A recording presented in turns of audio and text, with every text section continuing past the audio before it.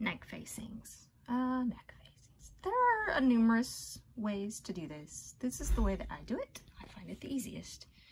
Um, somebody can watch this and be like, oh, that's not how you do it. That's all wrong. But you know what? If it works for you, who cares? This is the front that we had marked. This is the back. What I'm going to do is I'm going to draw, oh, and the gray is underneath and the tunic is on top, opened up, like so. Okay, so what I'm going to do is I'm going to draw this teal blue line onto the gray. Just that circle. Okay, I've drawn it on there. You can't see it because the blue's in the way. So I'm going to pull it off. Now it looks like that. But it should pretty closely match this. Now, a couple of things with this. First of all, we know we want to do a keyhole neckline. We know our keyhole neckline is going to be this far. So um, you will measure this. You will not do it all janky like I'm about to. I'm going to draw a line down here. Um, and then I'm going to draw a line across here that is uh, about half an inch. And the reason why is I will show you here in a little bit, but this is how you would do it. You're going to make like a little line here and a little line across and another little line. It's, it's, you'll see.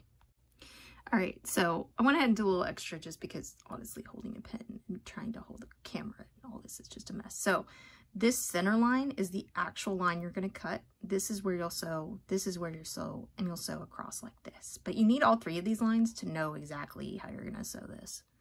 Um, the, the next thing is creating this outside edge. So um, this is however many inches you want it out from the neck. So like if I wanted, let's say this is the two inches, I would end up making um, a three and a half inch uh, wide neck facing, half an inch here, my two inches, and then another half inch to roll under or however much you want to do, whatever. Anyway, you math, do math. so the next part is how do I make this neck facing look right? And the key is going to be to draw this sort of um, little thing that comes down across and over like that and again, you'll use your roller, your ruler, roller, your ruler to kind of figure out exactly how that should look. I'm just going to draw it freehanded um, just to show you the shape. All right, here's my final shape. Now, that being said, you could draw this shape in however you want. You can make this whole thing a square if you wanted, um, which you see a lot. You can make this into like a Thor's hammer looking thing. There's all kinds of, however you want to do this. It doesn't matter, um, honestly but this is what your ending neck facing drawing will look like. Next, we are going to cut it out. When we cut it out, we are going to cut out the, um, the inside of this and the outside of this. Dun, dun, dun. We have cut it out. Now, as you notice, I did not cut out the keyhole neck. And when I did that, if you cut the keyhole out, it's a pain in the butt. So leave it there.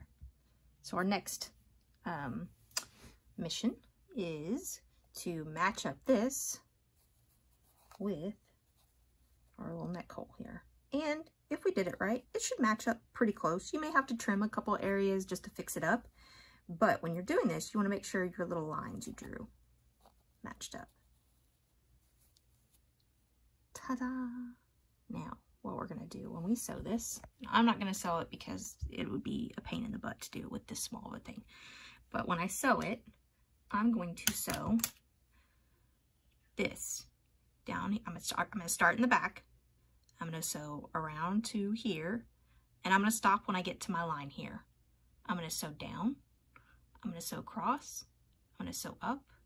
And then I'm to sew all the way back to the back. Once I've done that, then, eh, I messed it up. Then, and only then, will I cut this line here. So first, sew that all together, and then you cut this. Once you've cut that, you can now flip this to the other side. When you flip it to the other side, it'll look like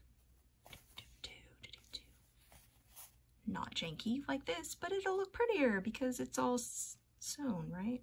Okay, we're gonna get it to here. When you flip it around, it'll look like that on the outside.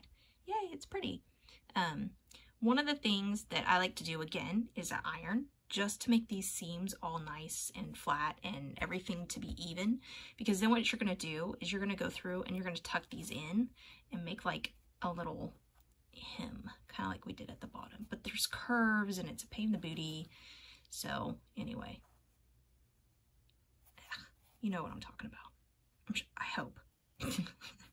anyway, put this into him, blah, blah, blah, all the way around. Uh, iron it again, then top stitch it.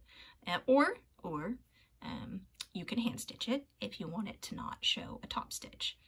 Um, or you can do a couching thread on top of your top stitch after you do it and make it look all fancy or hand embroider or whatever. Um, I like to top stitch um, to give it more strength and then I do something to hide it like an embroidery or a couching. So whatever you please. That is how you do a neck facing. Da -da -da.